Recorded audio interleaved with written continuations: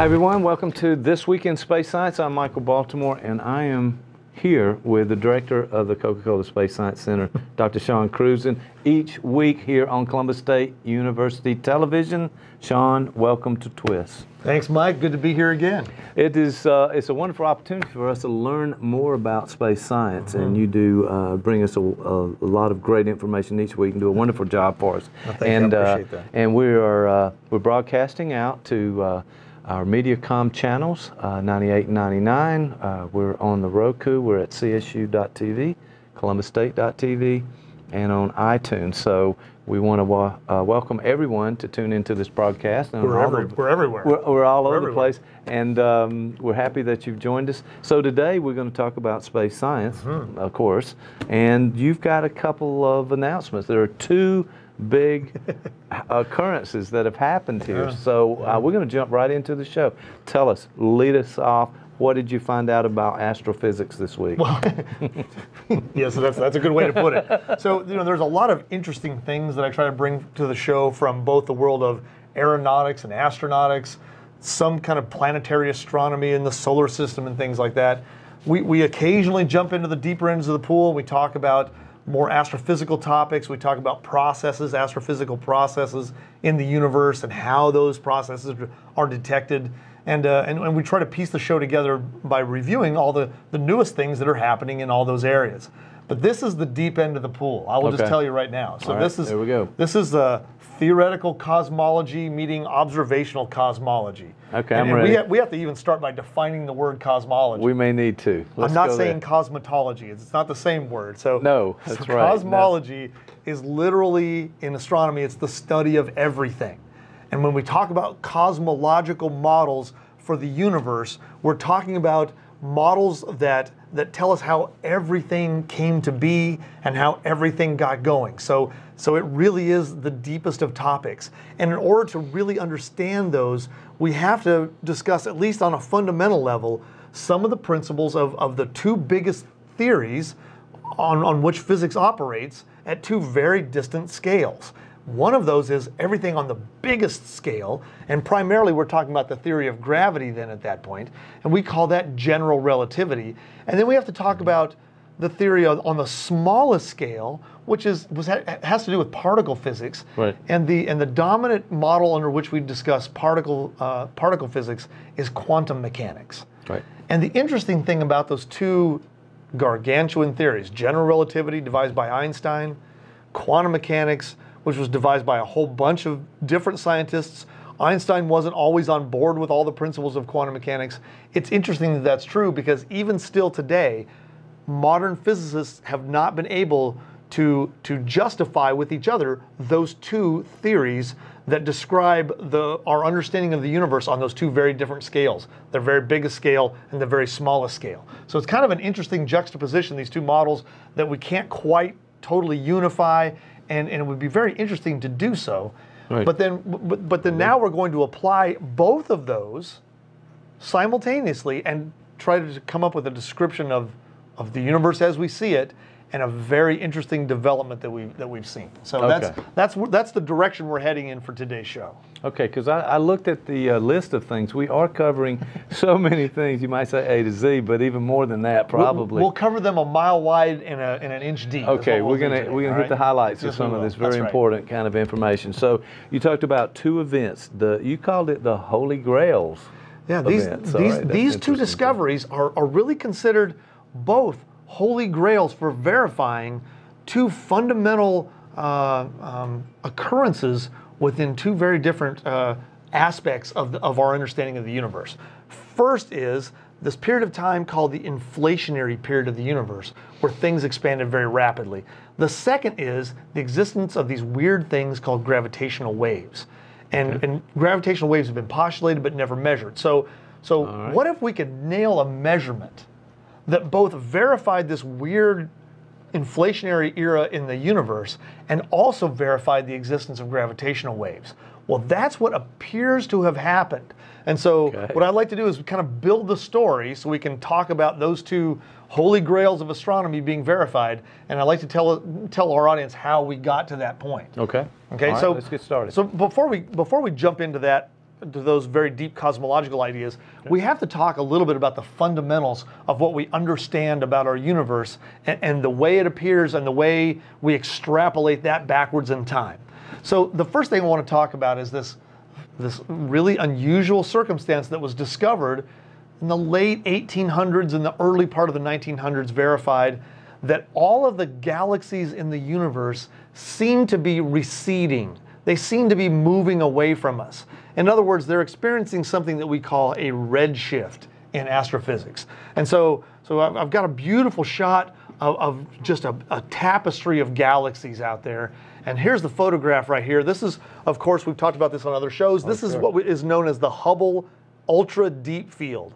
This is basically taking the Hubble Space Telescope and pointing at a blank part of the sky and photographing that blank part of the sky for a very long time. And what you see is you see this just beautiful tapestry of distant galaxies out there as far literally as the Hubble eye can see. Not blank at all, by the way. No, no. So, so, so, so it, when, when we said that this area of the sky was blank, we mean in terms of bright objects that can be seen with other telescopes. But this is the Hubble looking as deep as any telescope possibly can. And where we thought there was nothing, of course, there's not nothing. There is, is this incredibly complex network of distant galaxies. And so these distant galaxies, the, the interesting thing about them is if we look at the light coming from those galaxies, Right. they demonstrate this pattern of light that we call a redshift, which we know from the Doppler effect in, in fact in physics means that those galaxies are moving away from us.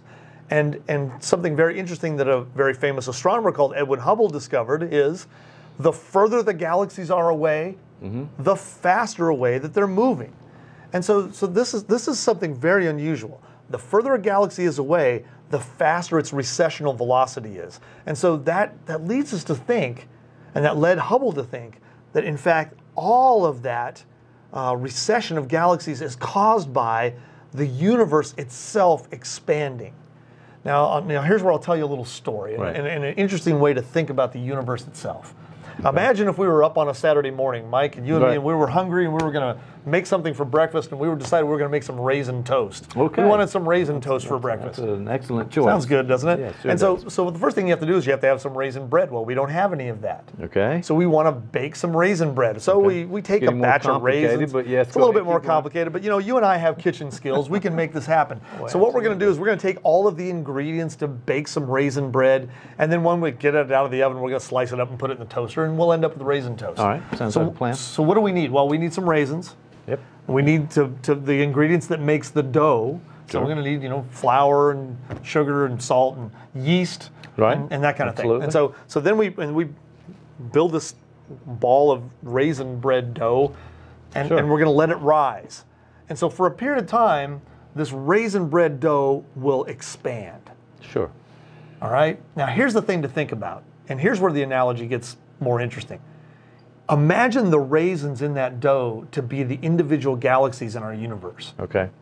That is a leap a little bit. It a is a little bit of a leap, right? there. And so, and imagine we have these special powers where we can actually see through the dough. The dough is transparent. Okay, all right. So, so as our raisin dough is rising because of the yeast that we put in it, as that raisin dough is rising, all of the raisins are moving away from each other. Sure. Why are they moving away from each other? Well, because it's the dough that's expanding, right? Because it has this yeast in it. So, to complete the analogy, the raisins are like the galaxies or groups of galaxies out there in the universe. Yeah. And they're all moving away from each other. Well, we live on one of those galaxies. Absolutely. We live on a raisin, right? So we're on one of those raisins and we're able to see through this transparent dough. So we can see all these other raisins out there and we see this. We look over there, there's a raisin, it's moving away. We look down there, there's a raisin, it's moving away. And we suddenly come to the to the very sensible conclusion that we are the center of the universe because all these raisins are moving away from us. So we must be at the Exactly. Yeah. special place. We're at the special place, right? The middle. Uh, yeah, I think we tried that with the sun and the planets. Yeah, it didn't uh, work well back then the- either, did it? In the centuries. Because here's the thing: if we jump to another raisin, we would see the same thing. So from any raisin within the dough, except if you're right at the edges, and we're not going to go that far with our analogy, but if for any raisin within the dough, we would see all of the other raisins moving away from us because all of the raisins are moving because the dough's expanding. Well, the analogy is the raisins are the galaxies, The dough is the fabric of space or space time, as Einstein described it. Okay. And so the fabric of space time is doing this expanding. And as it expands, these galaxies get further away. And from any given galaxy in our universe, we see the other galaxies receding or moving away from us, and we measure that in terms of a redshift because of the Doppler effect. So that's how, that's why we think that all of the galaxies are moving away. Well, okay, that's moving forward in time. Okay. But what if we could push the pause button and then the rewind button and we could watch in reverse? All of the galaxies would be coming together. Sooner or later, they're going to come into one spot, Exactly. one space. So Right, if we okay. run time backwards, you Yes. see exactly what you just described. All of the galaxies coming back together. Th- th- It would look like a an inversion of, of that recessional velocity. It would look like a, a not a recessional. I, I don't know. It's it's a Yeah. coming together velocity. They're all coming together. Anyway, Right. so as the universe is moving together and all these galaxies are moving together, it's like a gas that's being condensed. And so a gas being condensed, the temperature will rise. So if you squeeze a gas, the temperature gets hotter. So we see a, a, a, a universe that's getting hotter and hotter, smaller and smaller, hotter and hotter and smaller and smaller until finally it's really, really tiny and extraordinarily hot. Let's hit the pause button again. Okay. Now let's play the video forward. You begin with something incredibly small, incredibly hot, and then all of a sudden it moves out and it cools off and all those pieces fly apart. Yes. That's the expanding universe. That's the model of the expanding universe. I think maybe we have an image here that kind of is a cartoon of that. And here you see our raisins and our transparent there raisin we go. dough right here, Back right? to the raisin toast. Yeah, I'm beginning to understand. There it is right there. So there are all those galaxies. You can see as the universe expands, the galaxies get farther apart. All the galaxies are moving away from each other. So any galaxy would see recessional velocities within the spectrum of the other galaxies by the Doppler effect. And so this is where this concept of the Big Bang theory was formed. And actually, Fred Hoyle, a very famous astronomer, coined the term Big Bang to make fun of the idea. He said, What do you mean? You mean everything started at a little dot and then there was some kind of big bang and then everything flew apart? You know, so he didn't really like the idea. He was he was an advocate of this model called the steady state universe, which means everything has been the same, it's unchanging, and nothing's really being created or destroyed. It's all just kind of recycling and it's a constant size, it's infinitely large. Well, that's not what our current model says. And so Fred Hoyle didn't like that new model, nicknamed it the Big Bang to make fun of it. It kind of stuck. It did, didn't it? So, viewers, when you're out there and you hear the term Big Bang Theory, it's really a description of the expansion of the universe out from a single point. And that's really what we're talking about. Okay? So, so within that thing called the Big Bang Theory, Yes. we find that when we look out at the universe today, the universe is very, scientists use the word homogeneous. In other words, it's very uniform. It, it almost appears that it, all everything's the same everywhere. And if we look that way and we look that way, as far as we can possibly look, everything's kind of at the same temperature. Well, the problem is that when we look this way as far as we can look, and we see objects over there, then we look the other way as far as we can look and we see objects over there, there's not been enough time since the beginning of the expansion of the universe for information from those most distant objects to reach those most distant objects. They're too far apart. The word is causally connected. They're not causally connected. Right. So why could they why would they be at the same temperature? Well, they shouldn't be unless they were causally connected at some time. Well, if they were causally connected, in other words, if light could travel to those from one of those objects to the other in the age of the universe at one time, how come it can't now? That doesn't make any sense. Right. So, so scientists have postulated this weird thing called the inflationary era of the universe. It's where the universe itself, in its expansion, expanded faster than the speed of light. Now, we know today that nothing can travel faster than Can't- the speed can't of do light. it, no. So this was a time in the history of the universe where that particular law was violated. And, and if that law was violated in, in this way, it would leave a signature behind. There would have to be some, some evidence that that law was violated. And, and again, if you want the deep end of the story, you're going to need to get online and read a little bit more. I'm kind of glossing over some things, obviously, but that's but that's what we're looking for. We're looking for some some signature, some measurable evidence that yes, indeed, this weird inflationary period where everything expanded faster than the speed of light did in fact occur. Okay. And it turns out that we could find that signature from gravitational waves. Yes, you mentioned gravitational Yeah, waves. That, yeah. That's a new concept around It's, it's a strange concept. I'm going to come back to it because I'm going to tell you where we see it, but we are going to explore a little bit these weird gravitational waves, which, which are postulated again by Einstein and theory of general relativity, and have never, ever, ever been measured. Okay. And scientists have been looking. In fact, very large facilities have been built looking for these gravitational waves, these ripples in space-time, and you're kind of seeing a graphic right there of what right. that might be like. What we're seeing right here is a, a pair of black holes that are orbiting each other, and those gravitational fields are so strong from those black holes that they're causing these ripples in space-time. And those should show up on our instruments. They just haven't been measured yet. Okay. So again, something that's been postulated but not confirmed by observation. And that makes observational scientists like myself a little nervous when theory is predicting something, but yet we can't quite Can't measure it. quite So, to it. so, so let's talk about some, another idea quickly in this idea of the expanding universe, and that's this idea of the cosmic microwave background radiation. It turns out when that expanding universe was, was coming out of that really hot period, th- the early universe was so hot that normal matter could not exist. It had to cool, the universe had to cool down first. And right at the moment when the universe cooled down enough for normal matter to condense out of, of this field of, of really hot energy, then, then the moment that that happened, mass separated from light, and then light was freed up to travel out through the universe. Well, then the universe cooled down even more. The, that light was then red shifted, as, as we've been talking mm-hmm. about. Mm-hmm. And today, that thermal signature from the universe would be in, in, in, about the three degree uh, Kelvin range, which is extraordinarily cold. And that three degree light would be about microwaves. So this is a, a- very interesting thing that was first measured by a group of scientists called the COBE team, Cosmic Microwave Background Explorer. It was a satellite. They were the first ones to measure this microwave residual radiation that's it's really a light signature verifying the, the occurrence of the Big Bang, verifying that, that radiation decoupling period in the expansion of the universe.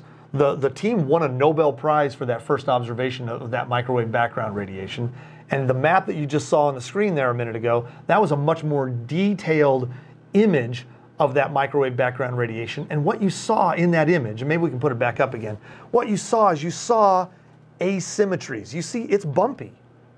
Now it's not very bumpy. It's one part in a hundred thousand is what these variations are. But but you Okay. can see like a topographical map here is what we're looking at of that microwave background radiation or the thermal map of the universe. You see this little bumpiness.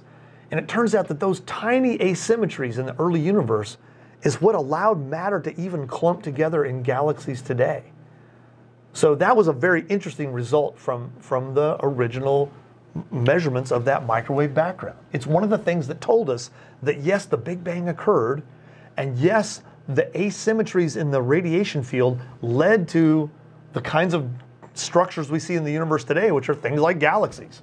And inside galaxies are things like stars, and around stars are things like planets, and living on a planet is you, me, and all of our friends and dogs and cats and trees and, and all that stuff. So, so that's how we get from those extremely esoteric uh, bumpiness in the microwave background to right here at CSU TV and all the stuff that we know is normal matter around us. Right, and we're measuring that radiation. That's one of the things that they're really measuring, and that is Exactly. that differences in, in radiation across there. And that map, that that that uh, uh, graphic that we showed, that's the Yes. entire universe as we. It- It's really a map of the whole sky, and, Right. and it- it's one of these, you know, projections. It's projected onto an oval. That's just to give you a way to look at it on some kind of a flat space. But you, if you can imagine that oval kind of wrapped around all around you, that's really a, a microwave map, a map in microwave radiation of the entire sky, and that little bumpiness is the signature of the non the un, the discontinuities in that microwave background that led to the mass clumping together and forming galaxies and all the other stuff we talked about today. All right, so very interesting. now that's really that's a past result, but that's a very interesting thing to be able to understand about our our understanding of the universe. We, we, we've come that far. Sure, and th- that inflationary period that you talked about. But what, what caught my attention was this notion of gravitational waves, Yeah. because again, that's a new term It uh, is, for me it here, is. certainly. So maybe some of those. But all right, go back there and kind of help us understand what that really means. You get you showed the graphic with the uh, two black holes kind Mm-hmm. of putting out, spinning, and showing those waves going out. What are gravitational waves? Well, maybe we could put that graphic back up real quick. And, and so the idea is this it's, it's a basic idea about the theory of gravity. It comes from Einstein's theory of general relativity. And it basically says this mass tells space how to behave. I'm- I'm- these are my own words. Okay, but, well, but this is my own good words. simple-minded interpretation of sense. No, come Einstein's on. theory of general relativity. Mass tells space how to behave, or more importantly, what shape to be in. So as we look at this graphic, we kind of laid a grid out over here, and this is a NASA image. It, it, it lays a grid out over the space-time, and, and it shows that these two black holes, as they orbit around each other, they make ripples along that grid. Well, Einstein defined this thing called a space-time manifold, and he really said space has a shape to it. It has a mm-hmm. shape to it in four dimensions. We're picturing it in three dimensions on this graphic, mm-hmm. but it has a shape. It has a shape in four dimensions, and when masses exist in that space-time manifold, they actually bend the space Right. or warp the space-time. So in fact, what we experience as a gravitational field, like we're being drawn down to the Earth right now, is really because space-time itself is bent in such a way that we slide down this curved space toward the big mass of the Earth. The Earth slides down the curved space caused by the mass of the sun. Sun, That's why we orbit it. The sun slides down the curved space caused by the greater mass of the galaxy, and that's why it behaves in, in the orbital manner that it does around the center of the Milky Way, and so on and so on. So in short, I mean that's why the planets are kind of on that plane and uh, react to the gravity of the of the sun in our solar system, for Exactly. example. And uh, it's almost a fabric of space. I've heard that term. Uh, yes, exactly. well. The- and, and, the analogy that goes along with that fabric of space, uh, in a way that we can imagine it, is kind of it's a- it's a two-dimensional analogy. It's kind of a simple cartoon. Take a take a cannonball or a bowling ball or something very heavy and set it in the middle of a trampoline. The trampoline bends down. Sure. and then take another small ball like a ping pong ball and try to roll it in a straight line across that warped trampoline. Well, it would move along the curve caused by that heavy object in the middle. Mm-hmm. So the heavy object is like the sun, the ping pong ball is like the earth, the, the trampoline itself is the space that's actually being warped, and the little ball rolls along the edge of that curved space, and that's what we call gravity. And the shape of that motion would be called an orbit at that point, right? So, mm-hmm. so this, you- so you have to understand that to understand where we're going with this concept of gravity waves. So imagine then if some some disturbance was occurring on that trampoline that that had its basis in time. In other words, something that was repeating. Maybe maybe you're thumping the cannonball in the middle of the trampoline every so Okay. often, or or maybe you have two cannonballs that are orbiting around each other. That would cause the shape of the trampoline to vary Kinda in waffle, time yes, and bit. oscillate. Mm-hmm. Oscillate's a mm-hmm. great word, exactly. Mm-hmm. So if, if the trampoline is oscillating, imagine the trampoline going on forever. If you were out somewhere in a very distant part of the trampoline, every once in a while you'd feel a little jostle, you'd feel a little Right. bump, you know, occurring in, on your space-time manifold. That's a gravitational wave. So that's a, a ripple sent out through the fabric of the space-time continuum by some massive objects behaving in a certain way. Okay. Inter- Interesting stuff. Well, one of the ideas behind the inflationary period is that there should have been all kinds of ripples that were sent out by the by the actual uh, events that occurred during the inflationary period, and they would actually cause all sorts of ripples to propagate out through the universe, and through that cosmic microwave background radiation that we saw. Sure. And those ripples then would cause a certain polarization of that light. Now, polarized light, if you ever had polarized sunglasses, you- when you, when you look through polarized sunglasses, you see glare in one orientation and not in another. So, so pol- polarization of light is something that we understand in daily life. But, but here, let me look again. So this is another graphic of, of the history of the universe. On the left is that event now known as the Big Bang, where it's shaped like a funnel and it gets wide really quickly. Very That's quickly. the inflationary period. If you look at the bottom scale, and maybe you have a little hard time reading this on this graphic, but it's the inflationary period occurred at 10 to the minus 32 seconds. So that's like a trillionth of a trillionth of a billionth of a second. All right, I don't know that number, but that's That- a lot. It's got it's a it's a decimal point with a whole lot of zeros, and it's a really small time. That's it's it's one of the smallest times that we can measure anything occurring in the history of the universe. That's when inflation occurred, and then the decoupling that led to the microwave background radiation. They, that occurred at about the universe only being about 300,000 years old, which is very very young compared to the total age. We now think it's about 13.8 billion years old is when, when how long ago that Big Bang occurred, and the, that's the age of the universe now. So this so the, all that business took place in the very very early parts of the universe, and, and the history of the universe, and that's one of the important things to understand. And those gravitational waves then would have caused ripples in that very early universe that we could now see as polarizations in that microwave background radiation. Well, there's a telescope in a very Yes. unusual place. okay. It's in, it's near the South Pole. That's where I was going. South Pole. I don't know why I thought about that. Well, why- why Maybe would you think about mentioned that? it before the show? But still, Wh- Why do we have a South Pole? Well, we have a South Pole because of rotation, but but another way we can think about the South Pole is because of the magnetic field of the Earth. And it turns out that if you go down to the magnetic field of the Earth, where the magnetic field of the Earth comes to a South Pole, and, and you go down there where the atmosphere is a little bit different for a variety of reasons, you will find that microwaves actually get through the air a little better down there. And so if you want to observe the microwaves, which don't, don't generally get through the atmosphere very well, that's why we're not cooked by the sun's microwave radiation emissions, by the way. You know what microwaves do to a hot dog? It's not pleasant, right? Not good. Our, our atmosphere shields us from most of that, which makes it hard to see microwaves from space unless you go to someplace like the South Pole. okay. So, so they built a telescope near the South Pole. It's called BICEP 2. Uh, the acronym is Background Imaging of Cosmic Extragalactic Polarization. For some reason, I can't stuff all that in my head, but to that's say as the Ojo. background yeah. imaging of cosmic extragalactic polarization. It's, it's a microwave telescope at the South Pole that looks like this. Oh, there you go. And so microwave telescopes don't exactly look like optical telescopes. They look more like these things called feeder horns, where you, Mm-hmm. you might see the phone company beaming signals with microwaves on a giant tower. you might see sure. horns that look something like these. And so these are giant feeder horns that are receiving microwaves from, from outer space.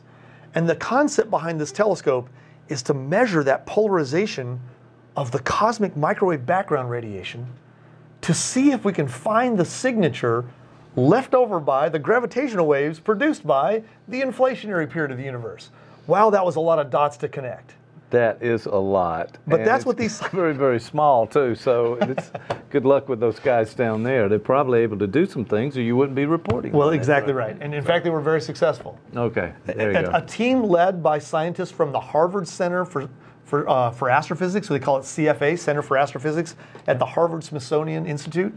They were able to go down there with other scientists from other institutions, by the way, use that telescope, make measurements.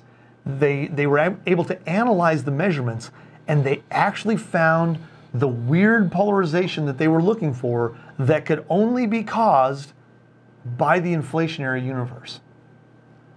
But the interesting thing about this is this is also the first ever observational confirmation of gravitational waves. Okay. So it's a two right, for there one. There we go. Yes. Not only Throw did they gravitational waves. exactly. result. Not, Yes. not only did their science verify well, at least if it stands up. Now remember, Right. I'm only reporting this about five days after it was first announced. all right. So so if their observations hold up, not only did they not only were they able to verify inflation, but they were also able to have the first ever uh, observational evidence of gravitational waves all together in the same measurement. This is literally one of the biggest It's a big find. the biggest I mean, finds in astrophysics uh, ever, honestly. And Okay. in the last, the last kind of paradigm shifting observation like this was really the observations that led us to think about this weird stuff called dark energy. So not since the announcements that led to the concept of dark energy have we seen a, a milestone set of observations like this one. So, so really, we're- we've talked about all these convoluted, complex things. I've tried to present them in the simplest way I know how, but they do all lead to some really important uh, astrophysics and some verification of some very fundamental models of our understanding of the universe, which is a really big thing. And so I, th- I think we have an image of the of the B mode polarization here. I want to show you just a little bit of what Oh, they found. Yep. Uh, there's a, there's a graphic here that shows this thing. So this is this is the polarizations that that were first observed uh, by this biceps instrument that led us led us to believe that we finally have as a human race some confirmation of gravitational waves and the inflationary period of the universe. we, we're going to need some scientists like you and some others who explain that to it. It looks Well- a little bit like an abstract art. It, it does look like abstract art. Look particularly for the little swirly curls that you see in this in this diagram. You see kind of some some straight on polarizations, but then you see some swirls. And then I want to go to my next graphic, and I will show this a little bit a little bit easier to understand. On the left hand side, we see what's called the E mode polarizations. Don't don't worry about the letters. Don't get hung up on that. We see some shape in the way the, the the fields of light are traveling. The E mode on the left is a simple kind of pattern, and, and you probably saw some of those patterns in that other uh, Right. graphic as well. But those can be explained by things other than inflation. So, so it's the one on the right hand side, the B mode polarization, where you see these polarization modes of light lining up in these patterns that almost look like a, well, they look like a sun. They look like a sundial. like a they look like a pinwheel of some swirl, sort, like, like a yes. pinwheel. Mm-hmm. Exactly. So those pinwheel shaped polarizations that are also seen in that previous image, those are the ones that are the B mode polarizations, which simply can't occur in the microwave background radiation without the influence of gravitational waves. It's like it's like waves slapping up on the shore of a beach. And, and you might go out the next day when it's low tide and you might be looking at the sand where no water's around, but you still see the pattern left over from the waves that were there the day before. Well, these are like the patterns in the sand that are left over from the actual gravitational waves Sure. caused by the inflationary period of the Big Bang model, right? So this is Okay. this is something that we can see today that's left over from some waves that were around a whole long time ago.